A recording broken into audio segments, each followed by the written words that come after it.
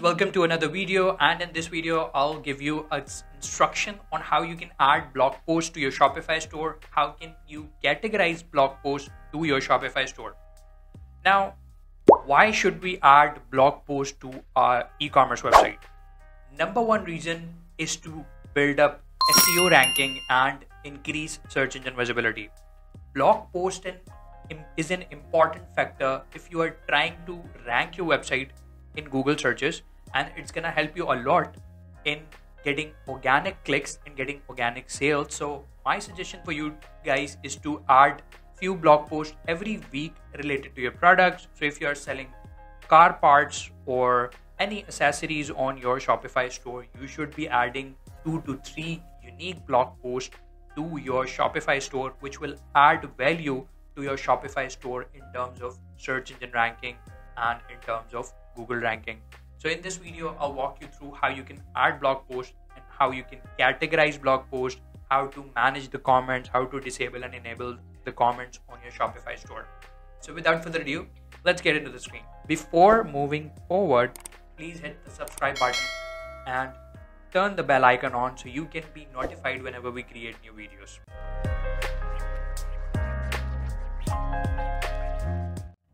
So that's my Shopify development store and I'm going to the backend of my Shopify store by navigating to slash admin. And when you see my development store, I already have a blog added in my menu. And if I click on that, you can see I have few blog posts up and running on my store. Obviously, it's all dummy data and it's just to show you guys how you can add the images, add the blog post to your Shopify store. Okay, now that's the backend of the Shopify development store. I hope you guys are already aware of that. If you have watched my videos, I have created multiple videos related to Shopify development.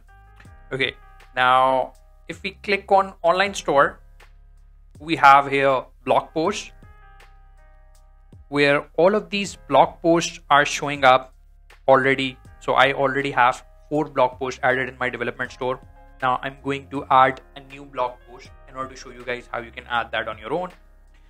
Okay, now let's try to add that. Click on add blog post and uh, YouTube tutorial. I'm gonna add the title of that blog post and so that's the place where we can add the content content for our blog post and that's the option where we can add feature image let's add in any random image for now so let's just add in this for now.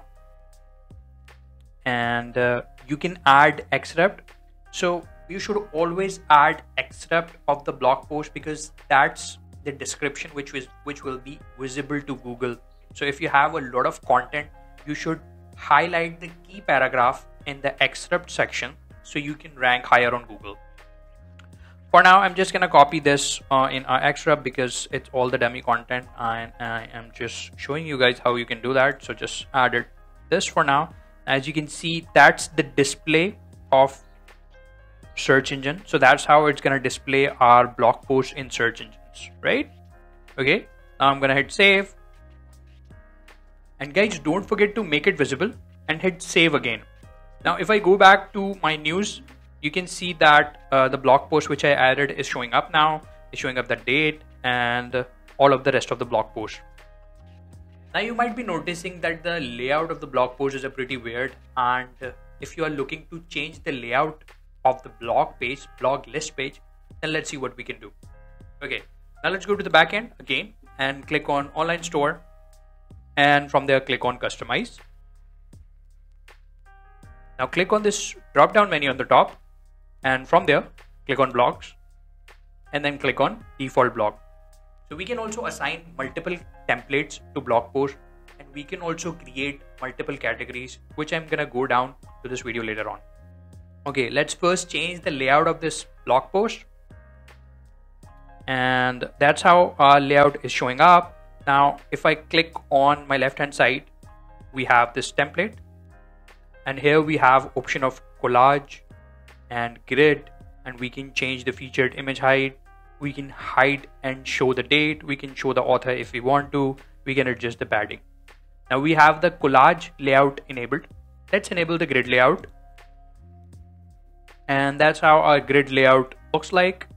And let's change the feature image height to small. Looks pretty weird. It's, I think it's better off with medium okay that's for enabling author. As you can see it's showing up the author name which is my name. Now if I click on save and go back now you can see our blog page looks a little better than before.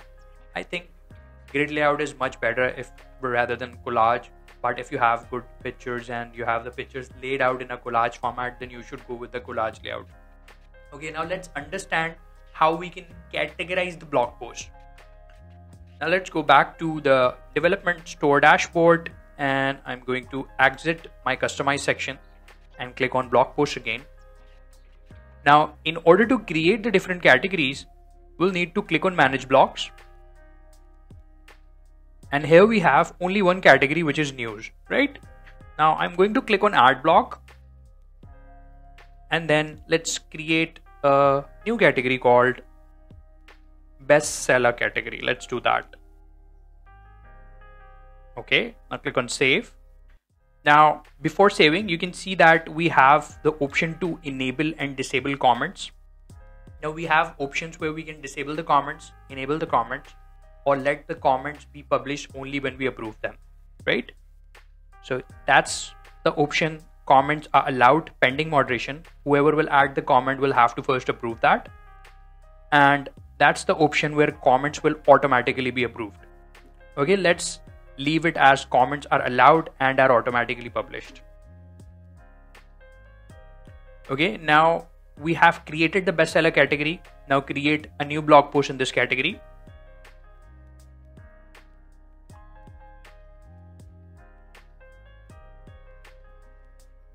I'm just adding the dummy title and dummy content and going to add an image. Okay let's choose this image for now and uh, now make sure to click on visible for the visibility part and click on save. Okay now we added a blog post on a different category. Now if we go back to blog post and I think we didn't select the category so we had to select the category here which is the best seller, right? And now click on save again. And then if you go back to blog post, you can see that it's showing a different category of blog. Now let's go back to online store and then click on customize. I'm to open that on new tab. And that's our homepage. Now let's add a new section here for blog post.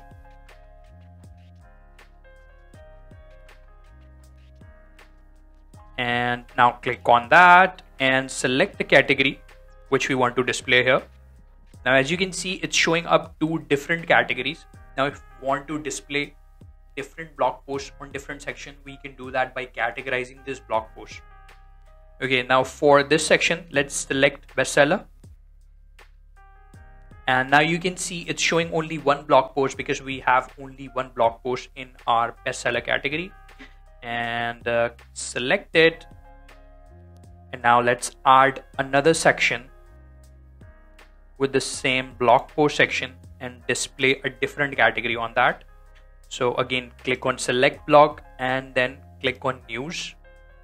And here we go. Now we we, we can see that we have different categories showing up on these widgets right? So if we want to categorize our blog post based on our product based on news and headlines or whatever category you want to create you can easily categorize this.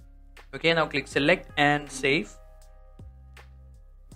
And here we have uh, in this section we have different options. We can change the image size change the heading size.